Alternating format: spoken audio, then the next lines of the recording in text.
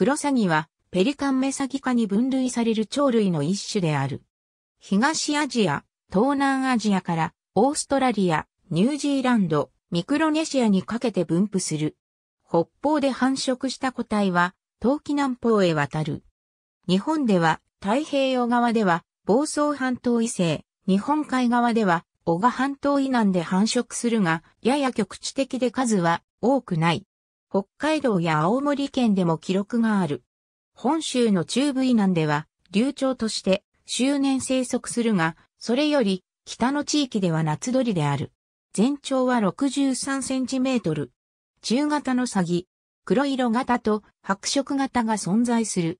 九州以北では黒色型が分布するが、南西諸島では白色型の割合が増える。また、黒い羽と白い羽が両方ある中間型も少数存在する。私有動植である。九州以北に多い黒色型は黒い岩場に適応し、南西諸島に多い白色型は白い砂浜、サンゴ礁に適応したものと考えられている。後頭部に棒状の短い関羽があるが、オスの方がやや豊かである。また、繁殖期に白色型は黒色型よりも関羽が伸びる傾向がある。くちばしは太くて長く、色は淡いオリーブ色、褐色、高褐色など個体変異が激しい。足は比較的短く黄緑色、または緑褐色の個体が多い。交際は黄色で、目先は黄緑色である。主に海辺の岩場や珊瑚礁に生息するが、干潟や川口にいることもある。コロニーは形成せず、単独もしくはペアで生活する。中高生。海上を低空飛行し、獲物を探す。